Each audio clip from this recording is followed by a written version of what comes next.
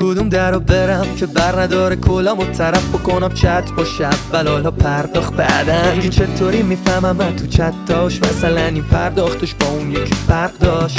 در بعد به ظاهر نداره عیبی ولی واسه تریلی قیمتش کم خیلی. اگه بی ریسک ردشم از این در خوب سکه ها صاف میپاشه وسط گردونه.